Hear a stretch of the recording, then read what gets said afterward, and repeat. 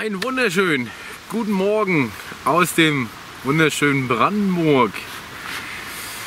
Ja, Mensch, ist noch nicht mal drei Wochen her und wir sind schon wieder beim nächsten Beitrag. Das ist ja unglaublicher Vorfall. Ja, dieses Mal bin ich einer Einladung gefolgt von meinem äh, besten Freund äh, Tino. Der hat mich zu sich nach Hause eingeladen an einen kleinen Fluss mit vermutlich großen Überraschungen. Also es soll hier gigantische Fische drin geben und gigantische Mücken gibt es hier auch. Und deswegen bin ich dieser Einladung gefolgt und der Tino kommt nachher gleich. Ich bin jetzt schon hier, habe schon aufgebaut, mein Fleckchen Erde hier bezogen für die nächsten Tage. Und dann heißt es, kleiner Fluss mit großen Überraschungen oder auch nicht. Äh, wir werden hier auf Karpfen fischen, wir werden auf Aal fischen. Es soll hier auch Zander und Wels drin geben. Deswegen werden wir nachher erstmal gleich uns noch ein paar Köderfische besorgen. Aktuell liegen noch zwei äh, Routen auf Karpfen draußen in der Zeit, bis der Tino da ist. Und dann geht das hier los. Und dann werden wir mal gucken, was wir die nächsten Tage reißen können oder nicht. Es ist wirklich ein sehr schönes, beschauliches Stückchen Erde, wo es mich hierher verschlagen hat. Gefällt mir richtig gut. Super Gewässer. Ich habe auch schon die ersten Karpfen gesehen an der anderen äh, Uferseite. Der ist nicht sehr breit, sind vielleicht 10 Meter, wenn überhaupt. Aber er ist tief, äh, knappe 3 Meter in der Fahrrinne, tiefste Stelle. Und äh, viele Seerosenfelder und Weißfisch viel unterwegs. Ückels, Ückelschwärme an der Oberfläche ziehen hier mit der Sonne mit. Also das wird auf jeden Fall eine spannende Geschichte. Also dranbleiben, gespannt bleiben. Jetzt gehen wir gleich ein paar Köderfische angeln und dann geht er dir ab. Bis dann, ciao.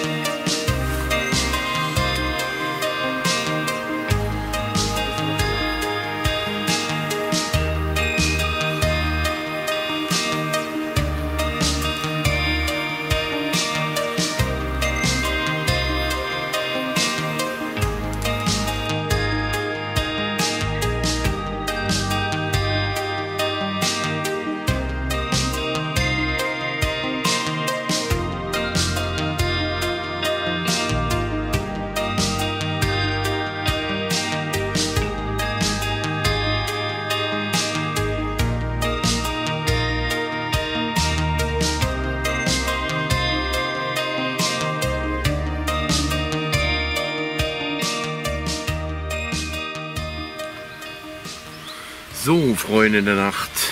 Die ersten paar Stunden sind rum. Ich habe hier so ein bisschen mich durchgetestet, was hier wohl an, Fun an Montagen funktionieren könnte. Und habe mit normalen Rigs erstmal probiert, Multirigs mit normalen Boilie und Pop-Up und eine Route mit T-Gainers und Pop-Up und habe den hier erstmal in den Gewässergrund äh, quasi abgetastet mit verschiedenen Bleigewichten. Dann mal so ein paar Stunden liegen lassen und dann rausgeholt und kontrolliert ja, viel Kraut, viel Schlick. Die Boilies haben äh, nach Schlamm gestunken und nach Kraut. Das heißt, ich musste mir jetzt jemand einfallen lassen die, mit der passenden Montage, äh, um hier denn hoffentlich den ersten Fisch zu bekommen. Deswegen habe ich mich jetzt entschieden, auf Moruni-Rig umzustellen mit einem extrem langen Vorfach. Ich zeige euch das mal kurz. Sind so gute 30 cm das Vorfach Uniri kennt sicherlich der ein oder andere. Ist mit einem Curve-Schenk gebaut und dann oben dran beweglich ein Poppy. Und das Ganze steht dann so im Wasser, so nach oben, dass der Poppy frei hängt über dem Kraut, wenn auch was ist auf dem Platz. Und durch das lange Vorfach und das etwas kleinere Blei sinkt es langsam auf den Boden und der Köder versinkt nicht im Dreck. Das Ganze werden wir mit dem Futterboot auf die Plätze fahren. Äh, ich habe mich entschieden, die Kanten auf der gegenüberliegenden Seite zu befischen vor der Fahrrinne, weil es da relativ fester Untergrund ist. Lässt sich aber schlecht anwerfen aufgrund der Bäume. Deswegen werden wir das Ganze rausfahren und vernünftig ablegen mit ein paar Partikeln dazu und dann sollte das funktionieren. So, und jetzt schauen wir mal, was uns hier die nächsten Tage noch so erwartet. Also dranbleiben, das wird bestimmt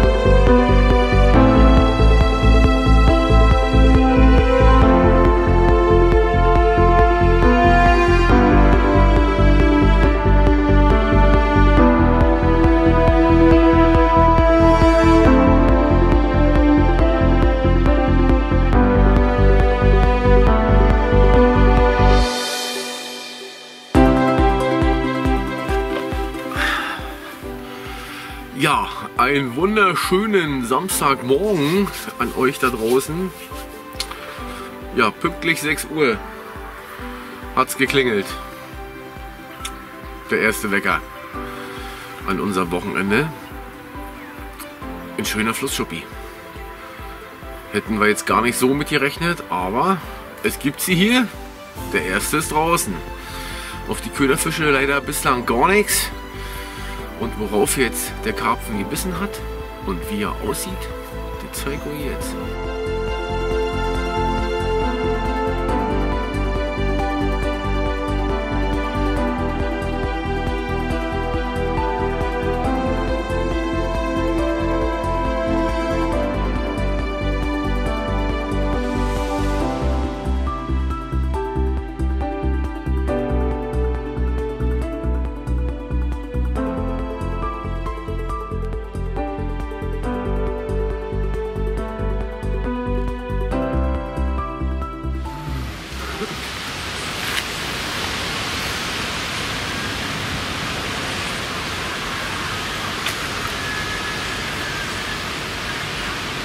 Happen!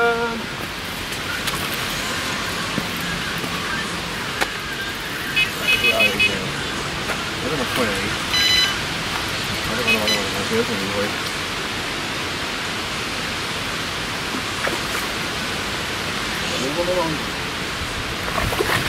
Jetzt! Sauber! So, dann. Ja, Freunde der Sonne. Oder des Schattens, besser gesagt. Jetzt hat er uns hier gerade aus unserem Nachmittagsruhepunkt rausgerissen. Ein kleiner Kämpfer. Der hat hier aber richtig Gas gegeben. Ich zeige ihn euch mal. Ein schöner kleiner Flussschuppen. Richtig cool. Mega.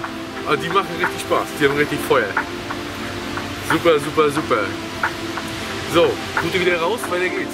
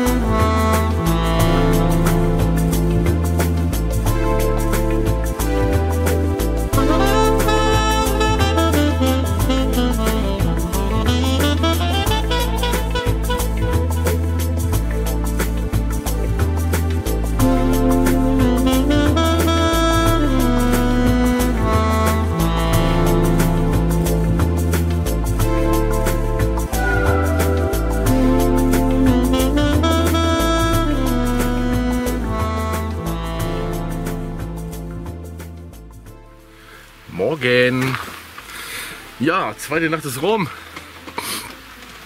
Die Köderfische sind wieder ruhig geblieben. Wir sind schon am Einpacken. Ich habe schon fertig. Tino hat auch gleich fertig. Aber einen Fisch gab es heute Nacht noch. Den wollen wir euch natürlich nicht vorenthalten. War wieder ein schöner Schuppi. Hier aus dem kleinen Fluss. Die haben richtig Feuer. Die machen richtig Spaß. Ja, es war ein schönes Wochenende. Auf jeden Fall eine Erfahrung. Und der Tino weiß jetzt auch, wie man hier Karpfen angelt. In seinem Hausflüsschen. also haben wir beide schön Spaß gehabt. War super entspannt. Und jetzt zeige ich euch noch den Fisch der letzten Nacht. Und dann werden wir hier auf jeden Fall nochmal angreifen. Dann werden wir uns aber allerdings einen anderen Gewässerabschnitt aussuchen, der ein bisschen tiefer ist, ein bisschen breiter ist, wo das Wasser wahrscheinlich auch ein bisschen schneller läuft. Müssen wir uns nochmal begutachten. Und werden dann da den nächsten Ansitz machen, den nächsten Versuch, um auch hier einen Räuber zu überlisten.